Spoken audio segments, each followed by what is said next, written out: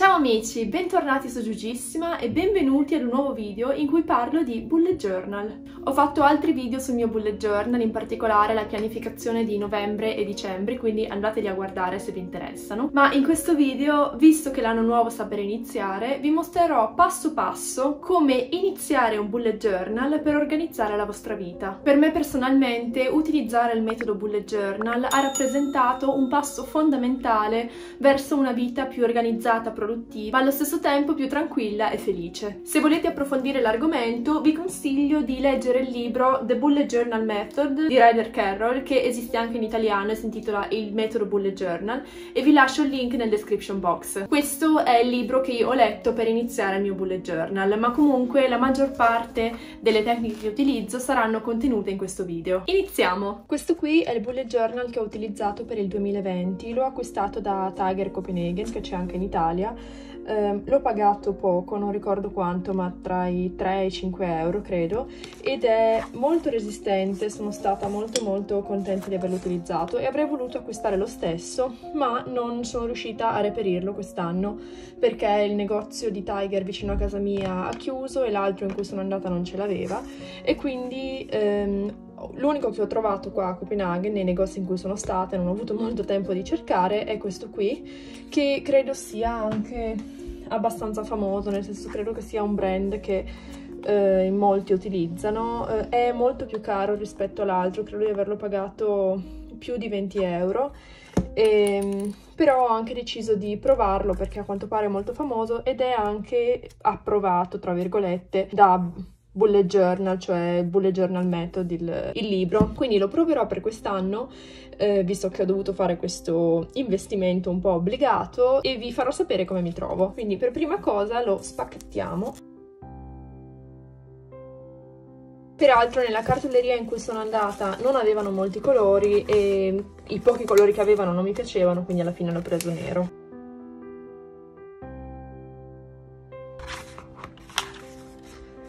Ok, ringraziamenti. Ok, qui c'è una piccola guida che in realtà è contenuta già nel, nel libro del Bullet Journal Method del quale, del quale, vi ho parlato. Ah, ecco, perfetto, c'è già l'indice. Questa è una cosa che trovo molto utile se stessi utilizzando un bullet journal semplice senza uh, queste facciate qui. Lascerei circa 4 pagine, eh, anche qui ne sono state lasciate 4, per l'indice. Quindi andrei a numerare tutte le pagine del bullet journal che in questo qua sono già numerate, quindi le andrei a numerare a mano e dopo ehm, utilizzerei questo per l'indice in modo da ritrovare tutte le cose all'interno del bullet journal. Se per esempio nel mese di aprile pianificate un viaggio che dovrete fare a settembre, è utile avere nell'indice la pagina in cui avete fatto quella pianificazione in modo da poterlo trovare immediatamente e non dover sfogliare l'intero bullet journal. Quindi questa è una cosa che trovo molto utile. Questo è il future log del quale avevo letto qualcosa anche nel bullet journal method ed è praticamente, sono praticamente le pagine in cui si scrivono tutte le cose che devono essere pianificate per il futuro. Per esempio,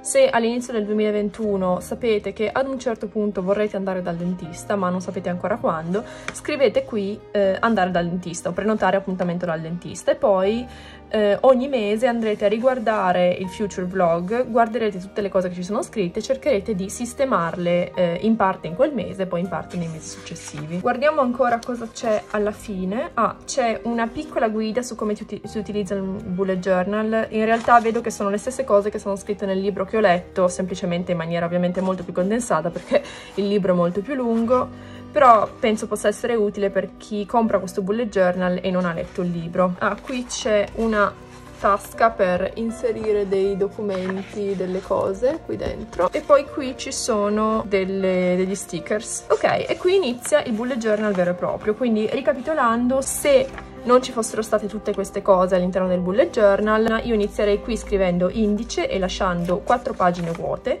e numererei tutte le pagine dall'inizio alla fine del bullet journal. Dopodiché eh, procederei facendo quello che sto per fare adesso. Tutto ciò per dirvi che eh, io ho comprato questo bullet journal, lo dico ancora una volta, perché non ne ho trovato un altro, questo qua probabilmente è il più famoso ed è anche il più costoso, ma eh, potete comunque acquistare qualunque bullet journal, anche quello da Tiger che io vi consiglio molto. Come sempre io inizio con un pochino di arte, quindi adesso mi vedrete disegnare qualcosa, devo pensare a che cosa, e poi dopo questa prima parte mi vedrete procedere con la pianificazione vera e propria.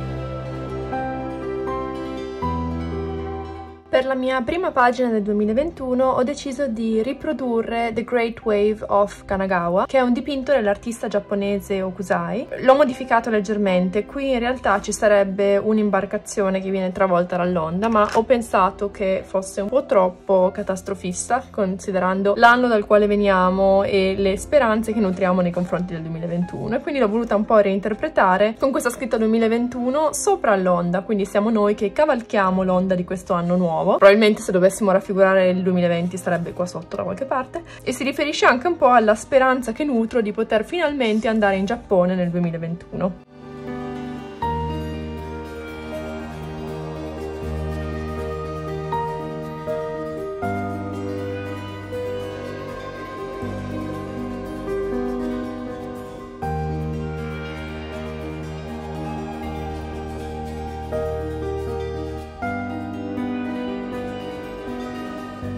Quattro facciate qui sono dedicate ad un overview dei mesi, per cui per ciascun mese andrò a scrivere eventi importanti oppure viaggi, si spera, compleanni e cose del genere, cioè cose che già so e le vado a scrivere anche man mano che procedo con i mesi. Per esempio, se con la pianificazione mensile sono arrivata a marzo, perché è il mese di marzo, ma so già che ci sarà qualcosa a settembre e so che me lo dovrò ricordare, andrò a scrivere qui a settembre questa cosa, cioè mi farò una nota in modo che poi quando andrò a pianificare il mese di settembre potrò inserire questa nota. E poiché questa overview occupa le pagine dalla 7 alla 10, lo andrò a scrivere nel mio indice e quindi qui andrò a scrivere mesi, pagine, quindi da 7 a 10.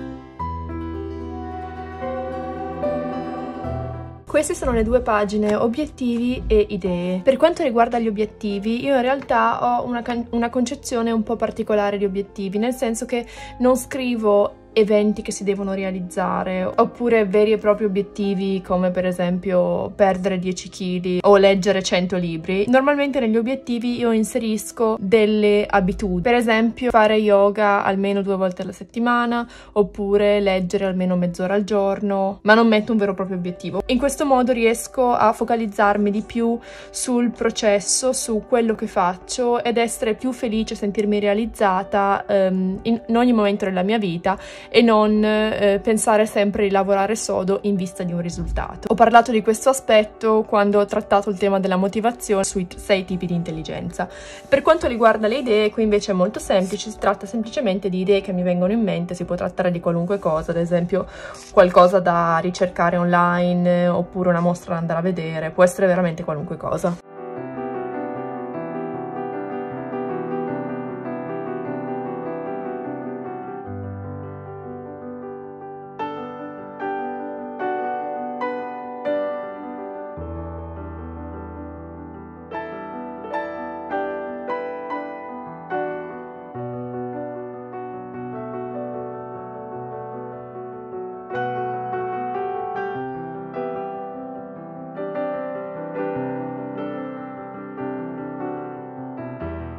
Queste sono le mie due pagine biblioteca. Um, ogni scaffale corrisponde ad un mese, qui c'è scritto il, il nome del mese e ehm, qui andrò a scrivere e disegnare eh, tutti i libri che avrò letto a gennaio, poi febbraio, marzo e così via. Mi piace avere un'idea dei libri che ho letto durante l'anno e sapere quando li ho letti, quindi questo è lo scopo di queste pagine.